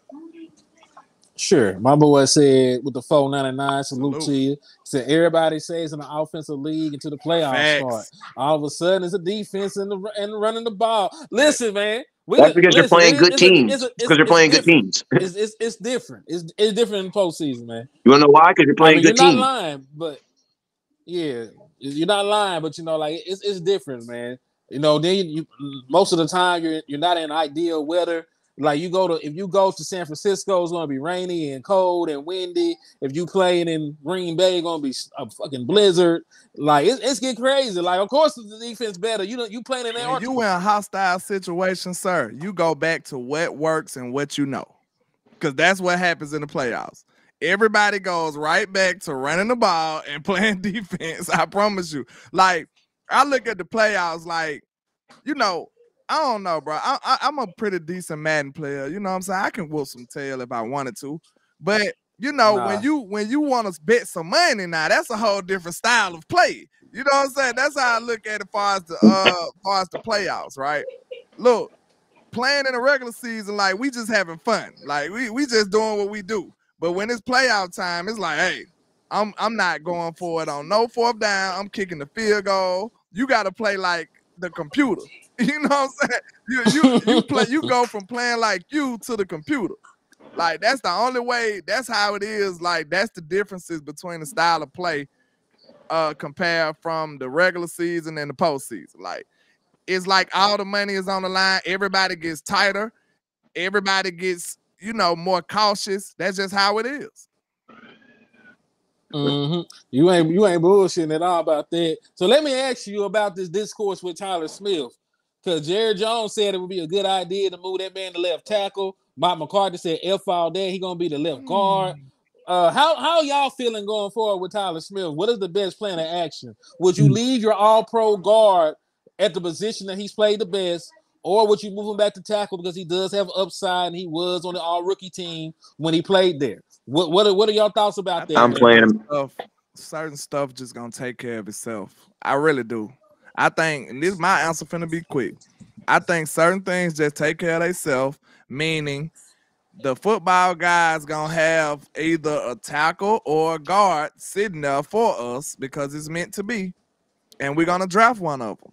And whichever way that falls, that's what Tyler Smith will play. That's how I feel like it's gonna work. Like no lie, I feel like if they got their ideal tackle there, then Tyler Smith will stay at guard. If they got their ideal guard there, then Tyler Smith will play tackle. I think it's gonna be that simple. So I believe they they trying to stay, you know what I'm saying, with their head on the swivel to see what happens. So that's how I think it's gonna work out. Like it's one of them things we probably shouldn't wor- worry about really. it's gonna work itself out. I feel like. I, I think I think that I think that guard who just got that four year deal worth eighty six million dollars, making him the highest paid guard ever. Um, Tyler Smith was in his second year. He's a first round pick. I know Cowboys are going to want to get him at least to like a, at least a one franchise tag. But I'm curious to know what they would want to pay him. You're going to pay him at a guard, or you're going to pay him at a left tackle. I think you know. Obviously, he probably still got maybe two years for those to, to for that to think of and thought of. But at the same time, man, what makes football sense is to play him at guard because you'll you'll have Zack Martin and then Tyler Smith surrounded by a question mark at whoever you want at center. At least they'll be better off. Now, um, it's also kind of crazy too because you're going to be throwing the ball heavily this year too. So you know it'd be nice to have you know maximum protection at that left tackle. But I'm gonna tell you this, man.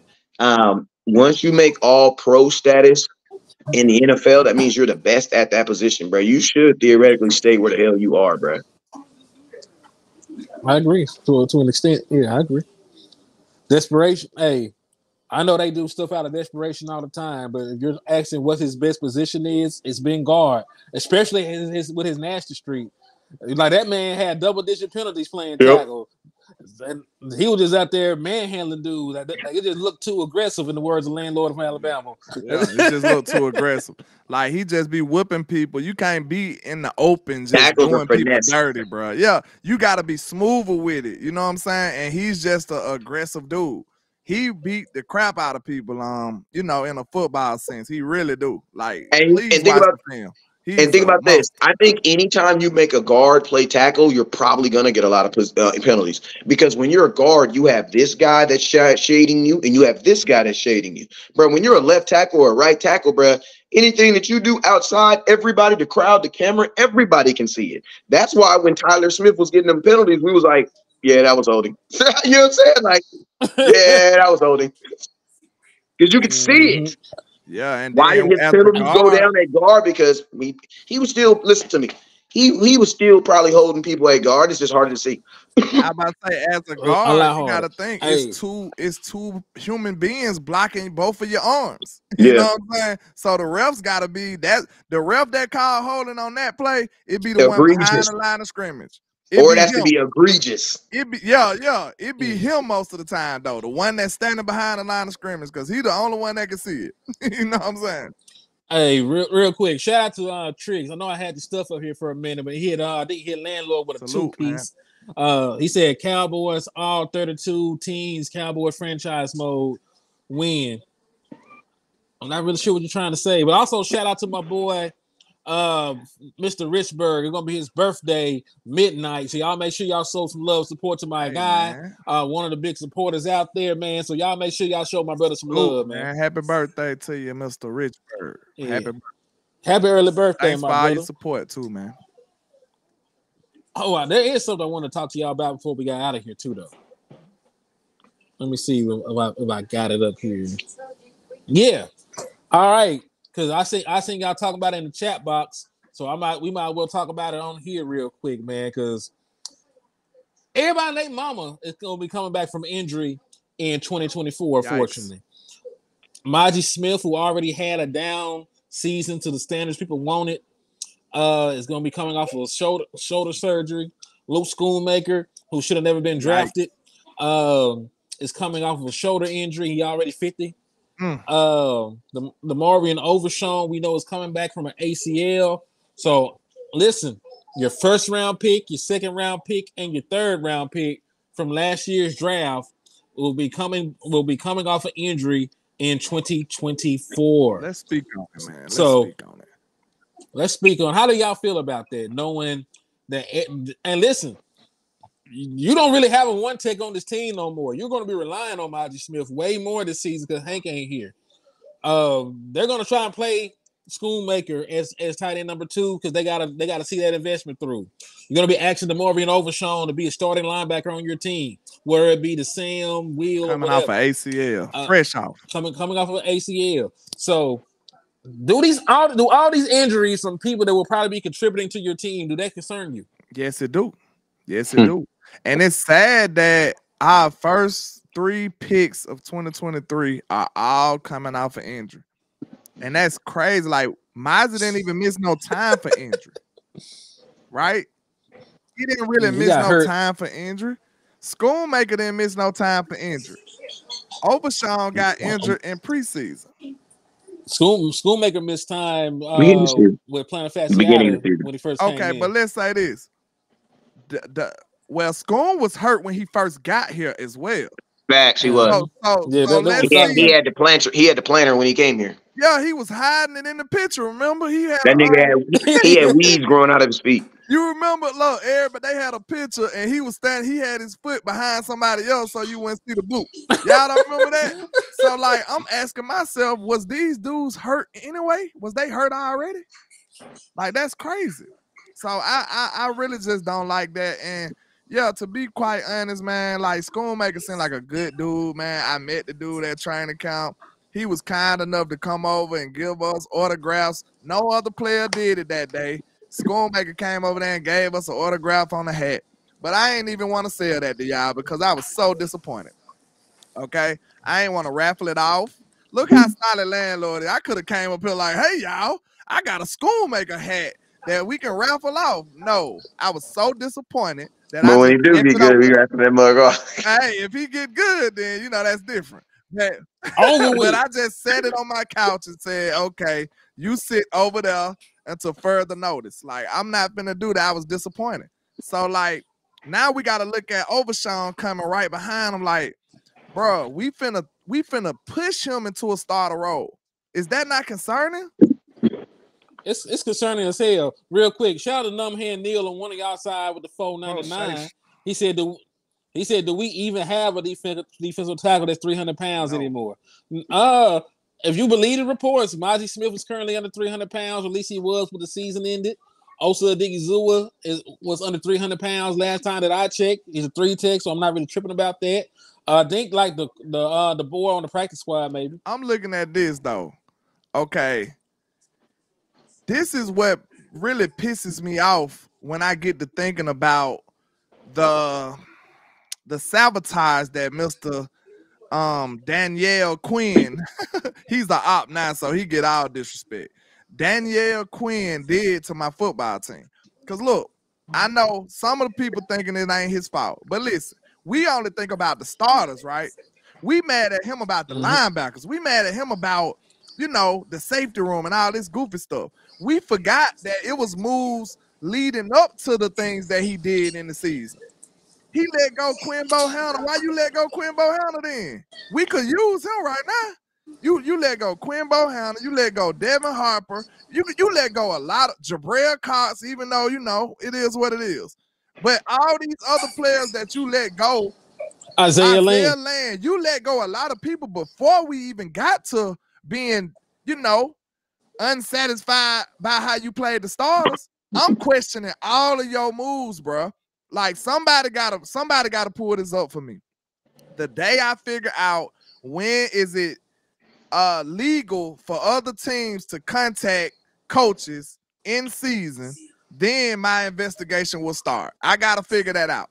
I gotta figure that out because if I see a big time shift in the way our defense played and the schemes and and the play calling, that's evidence right there. That's that's undeniable evidence right there. You was playing around on the yeah. job, bro. Hey, but back. To, can I say this about the injuries though? Because we we we we done stopped there. There's a there's even more people coming back from injury in 2024. We're just not talking about it. Trevon Diggs just had a fresh ass knee surgery, coming back he from injury. We are we are starter. Mazi Smith off of injury will be a starter this year. DeMarvion Overshown off of injury will be a starter this year. Uh, Schoonmaker, if, if we're a 12 tight end set, you, we running 12 personnel, you might say he's a starter. Coming off an injury, John Stephens Jr., like they mentioned, rotational um tight end coming off an injury. Uh, who else? I'm pretty I'm pretty sure there's more folks. Well, no, not not uh, not L- LVE's gone, so no. Let's talk about that. But yeah, this this this a lot. This a large part. This, this, this part. I gotta team. make this point because I ain't gonna lie. I'm, I forgot about it until you mentioned it. So I gotta get this out before it flees me, and the nation needs to hear this. we all seen what John Stephens Jr. was doing last year in count. Now, now, true mm-hmm. enough, it was count. But I'm telling you right now, he was looking like the best tight end. Let me say that again. It wasn't Jake Ferguson, y'all. like real talk. Go back and listen to everybody that was commenting on the tight end room in camp. Wes, you was there. I know you can vouch for this. I mean, he was doing it in games too. John Stephens Jr. was the best tight end on this team in camp. They was looking at him better than Ferg, y'all. So this one thing I want to say, this is a public service announcement. And we just had this discussion with. We finna see what politics look like. We finna see. We finna see if it's politics in Dallas. Because it ain't no way in hell Schoonmaker should be prioritized over John Stephens Jr. And if this man come in here and play like he did last year, but this is the thing. Watch out for that, y'all. Watch out for that. That's this, all I'm gonna say. This is this, this is the thing. The early report is before John Stephens' injury. The the person they were going to cut was your boy. Hendershot. Hendershot. Hendershot was was due on the cutting block before John Stephens Jr. went down with the injury. At least that was that was being reported. The most reports said he was going to make the team. That uh it was Hendershot who was on the bubble. So I have no question if he come back out, he's healthy and he played like he did, he'll be on the team. the issue is going to be is he going to jump over uh Schoonmaker, who's a second round he'll pick. be on the team. Like that's what you get for being an underrated underdog coming out the you know a diamond in the rough. Undrafted, yeah, converted com- com- converted wide receiver, turned into a tight end, um, made it against all odds. That man did not play tight end until we asked him to play. Congratulations, you on the team. well, and Darren said Dallas failed Cowboys. yes, they did. Now look, now think about this though. This is a problem with some of our culture, y'all. It's a tough conversation. I know I've been mad for about two months now. I can't help it. I don't know what you want me to do. Listen, this is a problem with our culture when you think about this. We up here fighting for a player who looked like he's good. Think about this, man. I just seen an article. The Kansas City Chiefs just hired. They just signed a rugby player. they don't care. They trying to go. They leaving no stone unturned. Them boys is finding people from everywhere, and they gonna give them an opportunity too. So Thanks. this man finna play. They, I think they say he finna be a wide receiver. KC up here signing rug, rugby players, y'all. So do do that look like they finna actually have a real competition over there? Pacheco was a what? A seventh round, sixth round pick. Mm, seven round pick. Like seven round picks don't start. They gave him a real opportunity. So this is what I'm saying. This is the beauty of not having politics being involved on your team. Politics keep great players off your team. That's what they do. And good players get mad and leave. That's what happens. You lose out on great talent because they tired of the BS. Think about this, and that's what I want people to realize. Cause I ain't gonna lie, I was a victim of some politics stuff, and it's it's, it's terrible. Cause look, no matter what you do, what can you do? you know what I'm saying? You've been out here balling, and they still ain't finna give you opportunity. What can you do? At that point, what uh, what are you gonna do? What like if you if that was your son here, what advice would you give him? That's tough, ain't it? Yeah. He doing everything he's supposed to do. He going out there every day. He's showing up. He getting better. He's playing. He's balling out when he get his opportunity. And then soon as he do it, they like, yeah, kid, go sit down. Facts. And he clearly better than the other dude. What can you do? This is why politics is so bad for the league because it ain't gonna do nothing but make that young man get pissed off and say, screw this, I'm gonna go try somewhere else. That's all that's gonna happen. I mean, ask Aviante Collins how that shit worked out because I saw him with my own two eyes outperform Josh Ball the entirety of a camp, and they sent that man somewhere else. Devin Harper looked like the best linebacker we had, and he didn't get no no opportunities, mm-hmm. none. Man, I remember that that that. I didn't understand that. That man was out there. Wow, wow, he was out there hitting folks, bro, and he was out there playing downhill. I'm talking about reading and reacting, foot in the dirt, just going, going crazy. And then next thing you know, he gets nothing. He got released. He got waived. That's crazy, bro. And we got underperforming linebackers, y'all. Do y'all get it? I can see if we had look, if we had linebackers balling and then Devontae, um, what his name is, Devin Harper was a baller too, I'd be like, okay, I get it. He, he just he balling, but he ain't balling out them. He ain't over playing them. But if we underperforming at a position and this dude still can't get no chance, there's something wrong with that equation. I don't know what you want yep. me to do with that, bro. I don't know what you want me to do with that. Mm-hmm. All right, let's see. So we talked about these folks coming back from injuries. We talked about the possibility of four being gone. We talked about the rule change. What else is on the is on the itinerary for today, man? I feel like there's something that I'm missing. I don't know. I'm old. I'm old, so y'all gotta bear with me. Mm. No. Oh yeah, yeah, they back working. So hey, so this is from today, if I'm not mistaken. Brandin Cooks and Dak Prescott are back in the lab working out, throwing sessions and shit. Damn, so need to be.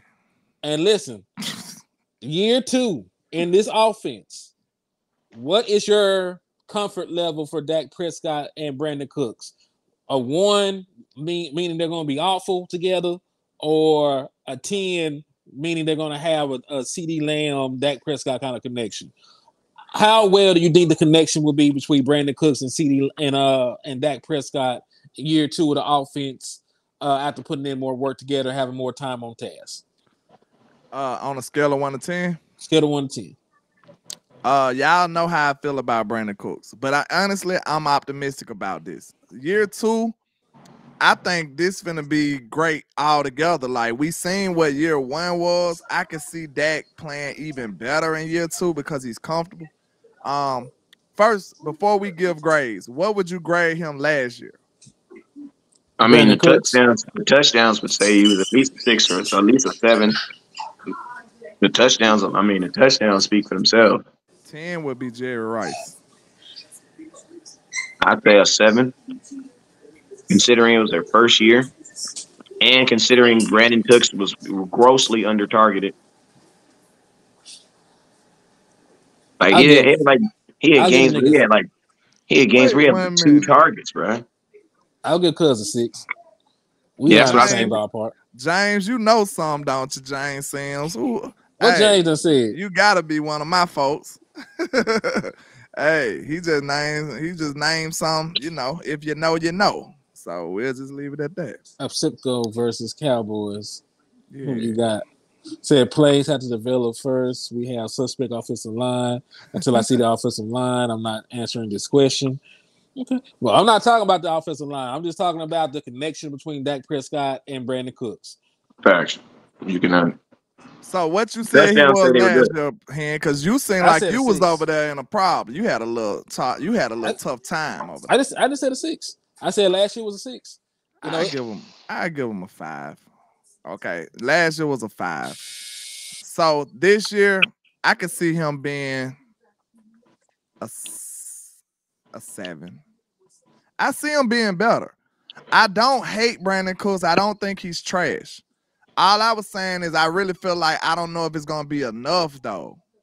You know what I'm saying? That's what I that's my whole take on it. I wanted to add somebody to that room to where I didn't want to question if it would be enough.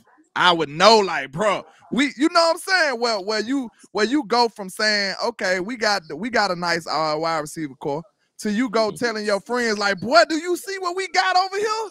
Like, yeah, that's, but that's then, a but different land, conversation right there. That's a different conversation. But landlord, my question to you, my question to you is then this: Do you think a wide receiver then does more with the production? I mean, with the targets that Brandin Cooks got? Because I'm gonna keep it real with you. With the targets that Brandin Cooks got and his utilization, I think you got more than what you probably got. Because man, bro, he had games where he had two and three targets, bro, as your number two receiver. And CeeDee Lamb damn near had 1,800 yards. So that doesn't even sound like a guy. If you have your number one getting eight, 1,700 yards, I don't even see how you have a guy, another guy even close to 2,000 yards. I mean, to another 1,000 yards, But That is a lot of throwing. You still got to throw the ball to your third receiver and to your damn tight end. So You I think we were throwing the ball though, Riz.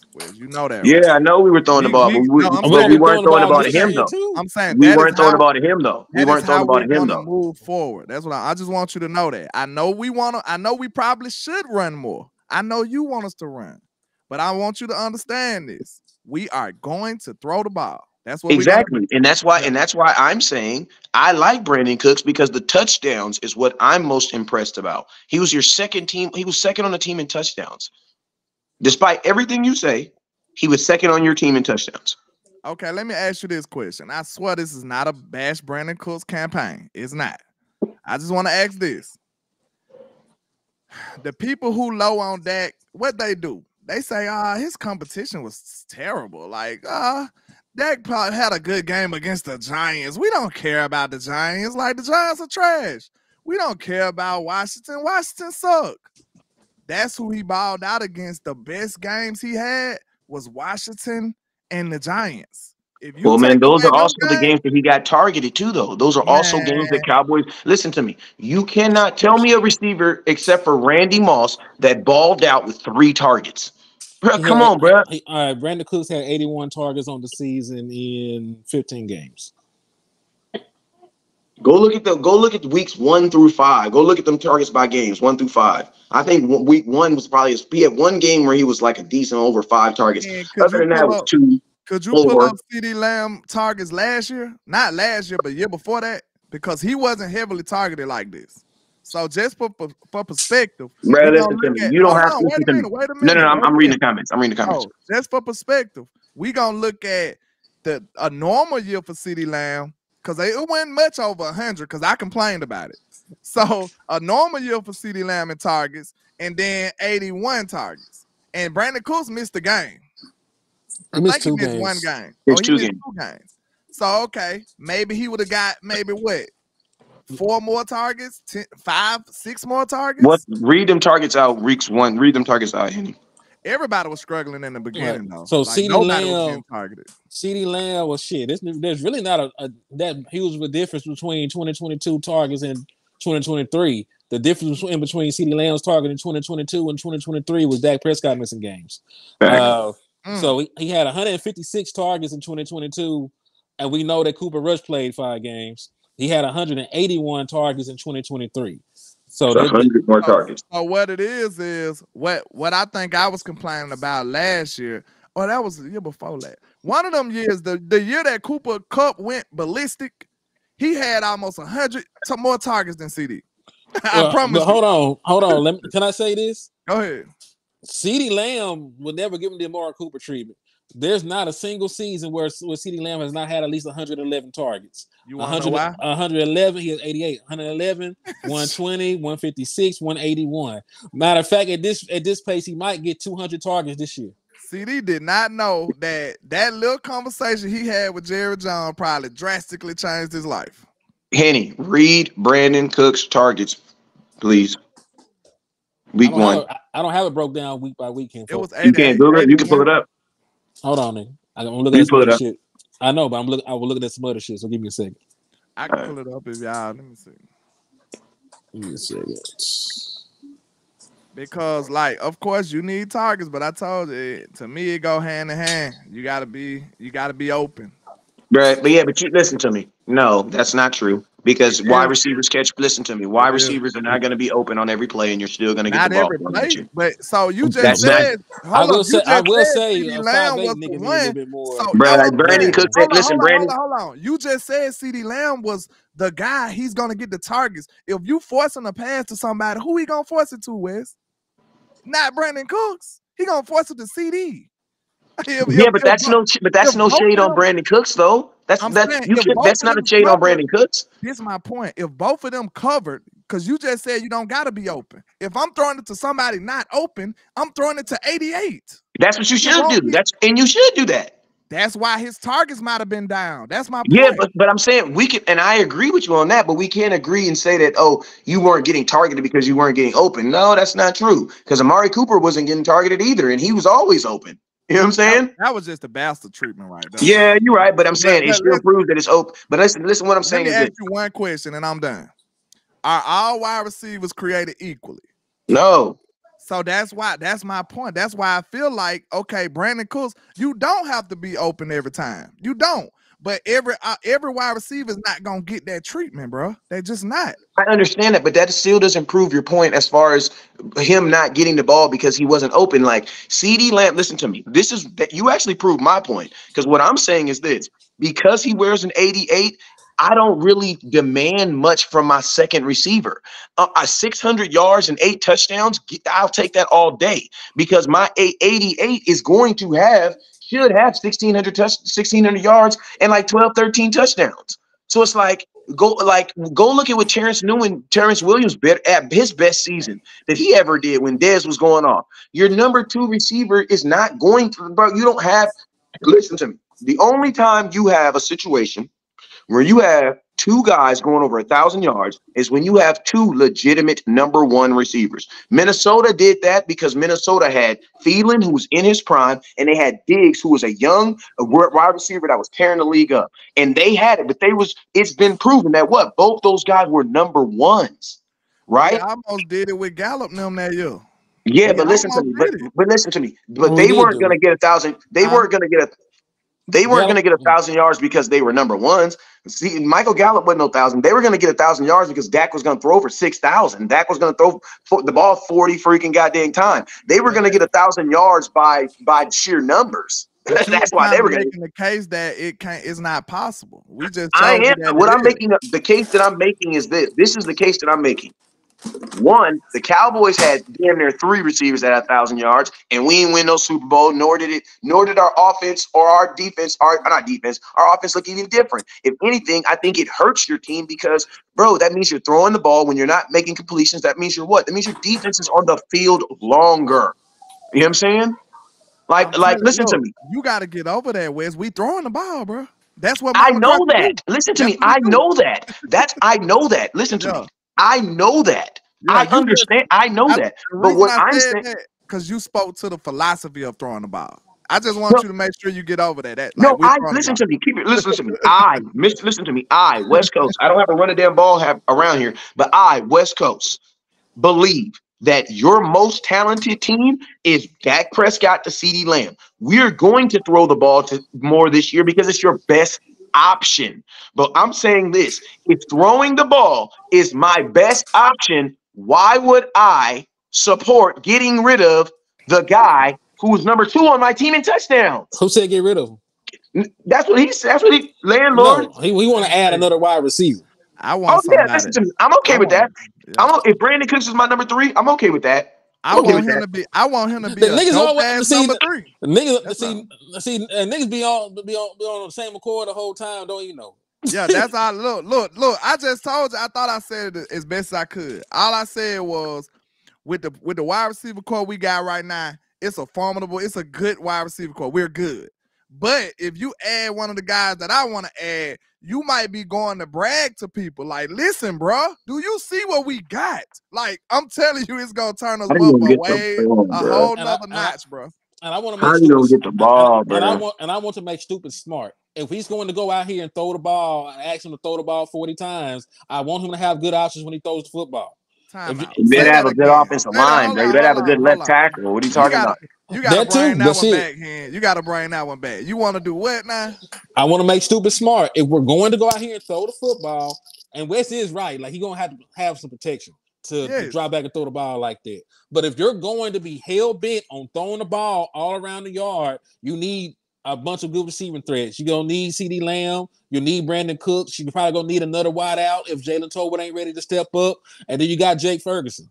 So what you know, we doing is, Wes, I feel like we trying to protect ourselves from ourselves, bro. We know. Listen, I don't think we should just throw the ball all around the park. Mm, me but either. that's what we're gonna do. So listen, I know, and I know that, and yeah, I, know I know that. I know we we got it understood that you know. But if look, that's what we saying. If we know that's what we're gonna do, we're gonna load it up and make it as easy as possible. Try to make it as successful as possible. Throw us some wide receivers in that end. Get us another wide receiver and just go crazy then. And, okay, and, so then my, so then my thing is this. Point, if that's the case, then if that's the case, then stop talking about Brandin Cooks and talk more about the number two receiver. Because it, I'm gonna tell you this right now. Even if you bump Brandin Cooks to number three, you can't explain to me how he's not the third best receiver in the NFL. If you have Brandin Cooks as your number three receiver, explain to me how that's not good. Yeah, it's, it's great. It's great. That's why I said we gonna yeah, be bragging. That's yeah, why no, we bragging not now. nobody not the Brandin Cooks. I'm just That's saying. why we calling people like, boy, do you see what we finna do to y'all? That's why we bragging. Yeah, but man, but, listen, but, but, but I'm gonna tell y'all, but I'm gonna tell y'all this. I'm gonna tell y'all this right here though, and don't get mad at me. But all that shit don't mean I'm nothing. already mad. I'm already listen mad. to me. All that don't mean nothing though. You want to know why? Because that's not how you win in the playoffs. So guess what? You're going to build a team that's going to get you 12 wins, and you're going to meet the San Francisco 49ers. It's going to be time to run the ball, and your ass is going to get sit on. That's probably, what, that's probably what's going to happen anyway. But that's all we say. Because you got to think about it. We don't want it to be this way, but that's the way that Mike McCarthy runs his team, and that's the way he feel like he can win. So, like, look, even in Super Bowl year, he had receivers galore, and they cooked all of them. They went crazy. He also had Aaron Rodgers. I'm saying he had multiple receivers though, and they all was effective, and that offense was a a well-oiled machine. That's the way he feel like he can play. You see and, what I'm saying? And this and this is the thing. I know we need a, a run game for the postseason, but I don't really see our options. There, there's what there's not a first round pick, game changing franchise running back in this draft. There's some guy that can come in and be good. But uh, we had to first first and foremost we had to see about getting them, getting them on the team. Secondly, we gotta have to see if he changes his philosophy when it gets time to the postseason. I just know because and listen, we talk about the postseason. It's not even guaranteed that we make it that far with the way that shit that shit standing. So that's why I'm trying to at least get to the postseason first, and then we can pivot and, and hopefully have a decent run game at, at that point. But dog, I just feel like it's, it's, a proactive thing to do by adding a wide receiver.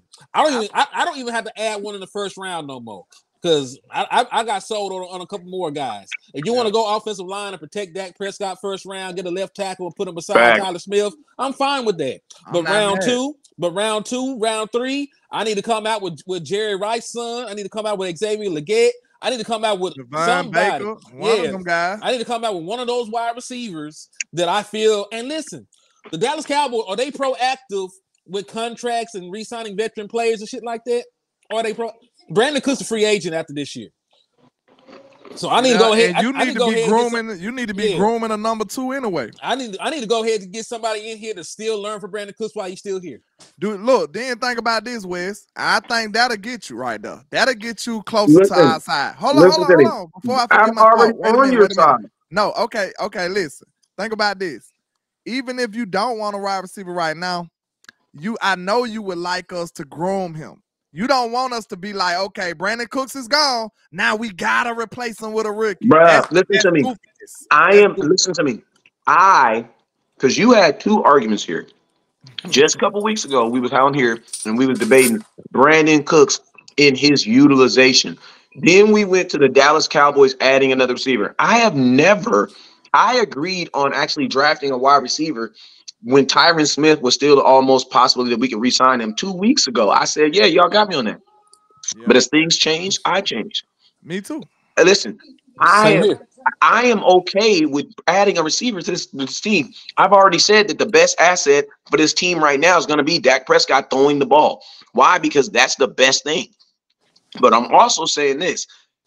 I don't know how we even connected my my stance has always been I want Brandin Cooks on his team because even if at a three at a receiver, he's a better receiver than Jordan um, than Tolbert. And if you look on every team in the NFL right now, he's still a better three. And if you're gonna throw the ball to three receivers, CeeDee Lamb, one of these kids y'all want to draft, and Brandin Cooks sounds like pretty damn good to me. And we're all in agreement. That's it. Great. And listen, nobody talk about getting rid of Brandin Cooks anyway. He's on a contract. Yeah, no. He nobody, was. He was. I ain't say get rid of him. Don't try to do I that. Said, he, I said he was him like he don't exist. That's a he difference. was a difference. I just want to drop a wide receiver, bro. That's he all. was. That's he all. know he was too. That's the only thing I was offended. I didn't say y'all that. So y'all so damn crazy. On air, I ain't saying that. And then he refuses. he refuses to, to, to, tell me Brandin Cooks' is targets by game. All of a sudden, his internet that looks up everything just don't work. no, I, I, already got it pulled up. So what is it then? So read out Brandin Cooks' targets. Wait a minute. Read out Brandin Cooks' targets. These are only jokes because I'm playing. I'm playing to the hand that y'all think I hate Brandin Cooks. Okay, don't take this seriously. You I'm do just hate joking. that nigga. I'm just joking. No, no, no, I don't. Yeah, I remember what you Read told me. out his targets. four, seven. Hold on, hold on, hold on, hold on, hold on, hold on. four, So hold up. So week one, say Week week, one. one. Week one, four. Boy, baby. Hold on. Look at that He granddad. all right? Look at that Ah, granddad. you over just there. scared him. Okay. Is my youngest grandbaby. But uh yeah, four on the Se- September the 10th. You know, that's when we beat the shit out of the New York Giants. He missed some time. He came back against Arizona on September the 24th. He had seven targets. Uh, four targets against New England, four targets against the San Francisco 49ers, four targets against the Chargers, four targets against the Rams, two against Philly, 10 against the Giants, four against Carolina, five against Washington, four against Seattle, five against Philly, six against Buffalo. Let me keep, let me go roll this up. All right. Uh Did you also notice the Two. two big, the two games we had his biggest targets, or the, his two biggest games are what? The two games we had his most targets. Coincidence. And there was some Eight. terrible competition at the same time. I mean, we'll, have, can't- we'll have to what? figure out what happened. eight It hold on, eight against Detroit and eight against Washington. What do you do that Detroit game with Uh eight six, targets? 60 yards and a touchdown. That's decent. For What- a number what- two? What are you expecting for a number two? What he What did, is he- see, see, he we was talking about the 10 target games. One could draw He only had two one. Listen, one can draw two conclusions from that. You said he got high production because he got 10 targets. I could say he got high production because he played the Giants. I mean, it depends on what you want, how you want to feel, bro. Like that's the same. So then you can say that about Dak. CeeDee Lamb every week then. They then you got to use that same thing about conversation about CeeDee Lamb every week. They say the same thing about that. They Okay. do. They say he's terrible because he balled out against Washington or the Giants. Yeah, but that's the thing though. You you can't control a target, man. Like you can't control a target. You can't control if Dak doesn't throw the ball at you. Like that doesn't make any sense at all. I can see him. I can see if we were talking about drops. And let's just be real, Dak. You don't have to be open to throw the ball. There are routes where you literally aren't open to you catch the ball. Like you're not throwing the ball to an open receiver on a slant route. A slant route, you're running into a collision. You're running into the football. So you won't even think about if he's being open or not. He either gonna be open or the ball's going in the dirt. So that's what I'm saying. Like this whole narrative, people be saying that's seven on seven football. In seven on seven, you throw the ball to wide open receivers. Bro, in the NFL, there's in the NFL, there's probably never wide open receivers unless someone fell down or they call a cover three coverage and they have a they run in a, a cover three defense that's going to attack one of them sides, or they're in cover two and they don't they have a they let a wide receiver slot split the damn safeties. Then it's only time where you're gonna have a wide receiver. Think about this. Dez Bryant was great because what? Contested catches. Like, bro, you don't even really get the, the, the like if you can get a yard, listen, if you're getting two yards of separation in the NFL, you're probably an all pro. Two yards. That's this much. That's a lot for for the NFL. That's six That's what I'm saying. That's what I'm saying. So that's what I'm saying. The average receiver is not getting open in the NFL. That's not how it works. You know what I'm saying? That's not how it works in the NFL. like, like I said, like that's what we said. We feel like he need bigger receiving targets as well, though, because if you're not getting separation, we still need you to have an advantage. Brandin Cooks is an average size. Average Bruh, he, height. didn't, he didn't show that in the end zone. In the red zone, he didn't show that. Show in the red zone, he looked uh, he looked very. And I'm gonna tell you, in the red zone, good he was not He made some contested catches. He did. contested Couple. catches. And and and this thing about this, Brandin Cooks is a dude that has had six consecutive thousand yards until he did what? Till he played for the Dallas Cowboys. No, he did not have a thousand yards. Well, last year uh, before that. Okay, year before He last. Yeah, that, that, yeah, that actually, a, well, that actually a couple times he had didn't have a thousand yards, but he got a bunch of thousand yard seasons. I know what you're getting at. Yeah, I mean, it could be father time catching up. But all I say this, I say this. I just want to see him with other receivers and just boost it up. You know what I'm saying? I would love for Dak to have a running game to to, to lean on, but I just don't, you know, I don't know Don't if we're gonna use it. office. You excuse me. I don't know if we're gonna use it. So I mean, why you got all this ammo if you ain't shooting? That's all I'm saying. Because you can only shoot one gun at a time. Shit, I, I just want You got, I got two hands. I mean, Rambo does this. I got, I got the barrels are always pointed up, and it always looks like he's shooting at the sky to me. You know what I'm saying? I, I count. I count six shots, nigga. Yeah, I then you got two yeah, but you only got one, and you got to pull each one individual, and you got to pull each one individually. Says the United States law. Yeah, you mean Man, at most here- you can get we three out here- rounds. we got switches out here, man. What you talking about? We got switches out here, man. Not we, not me. Oh, he said- oh, hold on. Oh now. yeah. Hey, why you think me. I bailed out of that one? Like, Not me, but you know, people Damn. have switches out here. They have switches. We ain't got nothing. We I we have ain't got we ain't got nothing in this house but Bibles. hey, we are podcasters. I got nothing but podcast material. Yeah, I got a phone and a dream. That's all I have over here. Cowboys t-shirts. That's it. But man, I gotta get ready to get up out of here to probably try to eat some food before I, you know, croak. But uh I enjoyed this, man. You know, it's been a minute since we did a show. I think we gave the people what they needed to hear today. Yeah, I agree. We've been on here an hour and 40 minutes. So I, I with being on here an hour and 40 minutes, I ain't got to make no excuse. I'm ready to go. You already know what it is. Never look down because stars up. peace. Hey.